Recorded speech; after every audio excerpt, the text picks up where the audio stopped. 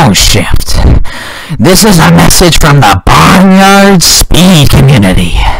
For months and months, ever since you started running the game, you have done nothing but disrespect the barnyard. I have put hours and hours into making Barnyard a good speed run, and then, and then, streamers like you play the game, but you don't appreciate it. Instead, all you do is make fun of it, and you have media share on, and all you do is make money off of my speed game, and I will not tolerate this disrespect.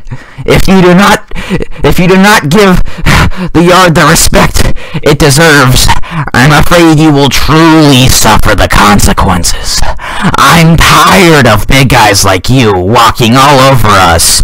Things will be changing very soon, Shifty.